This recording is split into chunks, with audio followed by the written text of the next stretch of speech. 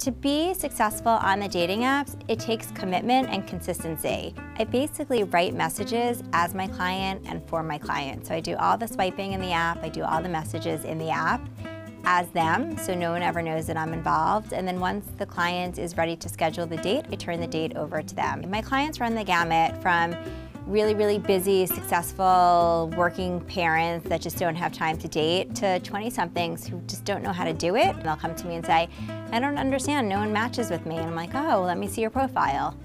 I know why no one's matching with you. Let's get you a new profile. The first step is I send out my intake form, which is really elaborate and has very detailed questions. But this data is what allows me to know my clients so that I can A, create the best profile for them, B, see what their current issues are, and C, if I'm going to message and swipe as them so I can really message and swipe as them accurately.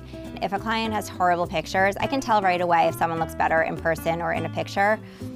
And if I feel that they need professional pictures, I will absolutely tell them because it's a nanosecond for someone to decide if they're getting swiped right or right left, and it's important that this person present well in a picture. I get some criticism from people who I think don't really understand the work that I'm doing.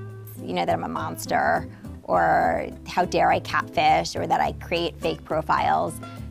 I don't use fake profiles the profiles are that of the clients and I may help them in their writing if they're not good at it, which is the same thing that a lot of people do when they write their profile. They have their girlfriends, they have their family check it out, their colleagues say, hey, what do you think of my profile?